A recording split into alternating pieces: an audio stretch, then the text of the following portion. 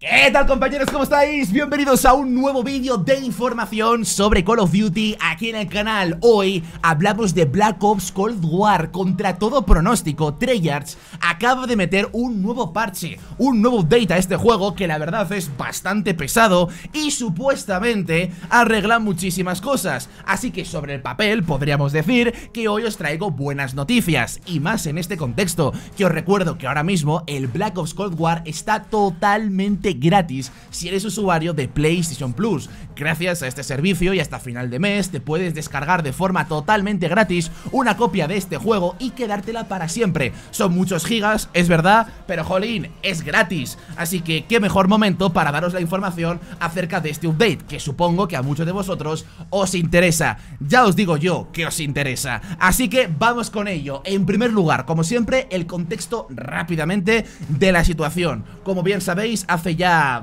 casi dos meses se empezaron a descubrir, gracias a la comunidad, bastantes problemas de seguridad en los Call of Duty del pasado. Es decir, en los Call of Duty desde el Modern Warfare del año 2019 para atrás. Es una locura de seguridad jugar a cualquiera de esos juegos. Os recuerdo que simplemente con iniciar sesión corréis riesgos graves, hasta el punto de que un atacante puede llegar a ejecutarte código en remoto en tu sistema, es decir, te puede llegar a instalar lo que le dé la gana sin ni siquiera estar en tu propia lobby.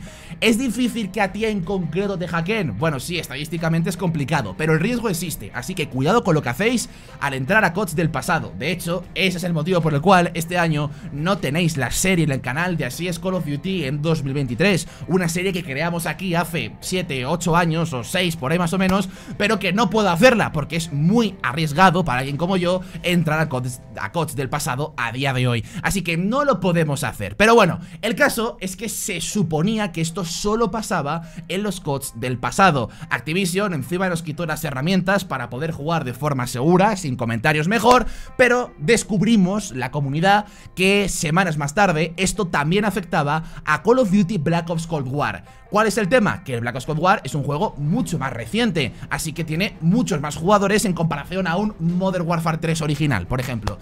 Pues bien, Activision, lejos de reconocer esto, lo ocultó durante varias semanas, hasta que ya era insostenible ocultar esto y tuvieron que publicar el tweet que tenéis en pantalla, reconociendo que había problemas de seguridad. Le quitaron mucha importancia para lo que realmente es, pero bueno, por lo menos lo reconocieron, que para Activision ya es un gran esfuerzo. Bien, a partir de aquí, Empezaron a trabajar en una serie de updates de seguridad. Y recibimos el primero hace unas eh, pocas semanas, hace unos pocos días.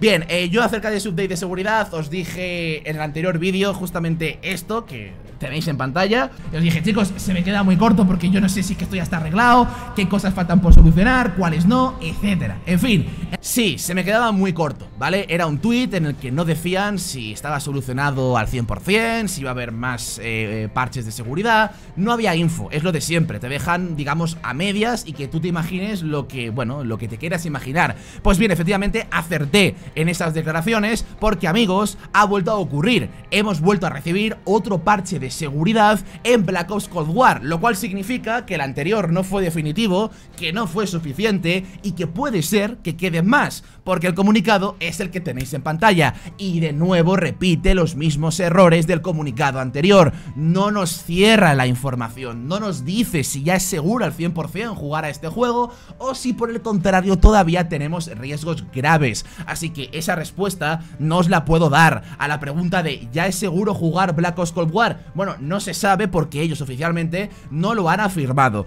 Eso sí, os puedo garantizar que están haciendo pasos bastante grandes en la dirección correcta. ¿Por qué? Porque si los updates que han metido solamente se centran en temas de seguridad como ellos han dicho públicamente, estamos hablando de 5 gigas y pico en PlayStation, lo cual es una barbaridad, y alrededor de 10 gigas en PC. Esto es una auténtica locura. Una locura que si está centrada en seguridad, claramente va a arreglar muchas cosas. Una locura que nos demuestra la barbaridad de problemas que había de seguridad detrás de las cámaras, por así decirlo, a nivel de código, para meter 10 gigas en PC, es una locura. Ya digo, si hay contenido nuevo, entonces me callo, pero por ahora no lo hay y no hay previsión de ello, así que suponemos que todo el update va para temas de seguridad, con lo cual sí, el asunto es muy grave. Eh, metes 10 gigas días más tarde de haber metido otros tantos gigas eh, de updates de seguridad. Está claro que había un marrón brutal, por mucho que le quieran eh, bajar la importancia. Pero bueno, sea como sea, evidentemente es un update muy grande, muy positivo, pero también incluye ciertas cosas que pueden ser un problema. Y es que a partir de este update que ha salido hace unas poquitas horas, resulta que hay usuarios de PC reportando graves problemas en el matchmaking. No que haya skill-based matchmaking muy fuerte, que por desgracia este Call of Duty fue casi el más bestia en este aspecto. Me hubiese gustado ver qué pasaría con el Black Ops Cold War si no hubiesen puesto este sistema de rachas tan absurdo y si no hubiesen puesto skill-based matchmaking, porque realmente fue un juegazo. Si quitas estas dos cosas,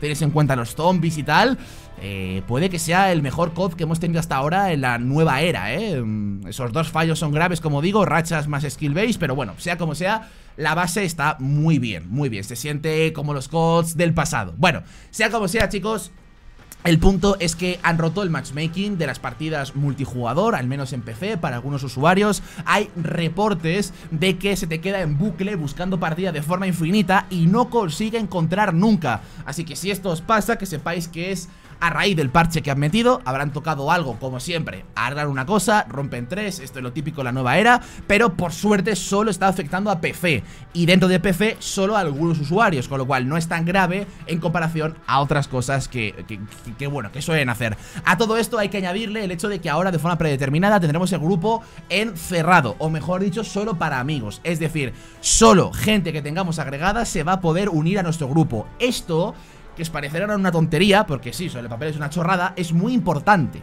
Porque uno de los métodos, de los tantos, ¿vale? Que hay, pero uno de los métodos que más usaban los hackers para sacarte la IP y luego poder dirigirte ataques era unirte perdón, unirse a tu grupo. Se unían a tu grupo y ahí sacaba la información con el hack, ¿vale? Esto ya no lo van a poder hacer, porque antes en el Cold War estaba de predeterminado que cualquier jugador se pudiese unir a ti. Ahora solo los que tengáis agregados de forma predeterminada. Si en el menú lo, quieres cambiar, cámbialo. Yo no lo haría, lo dejaría como los de Treyarch lo han puesto sin ninguna duda.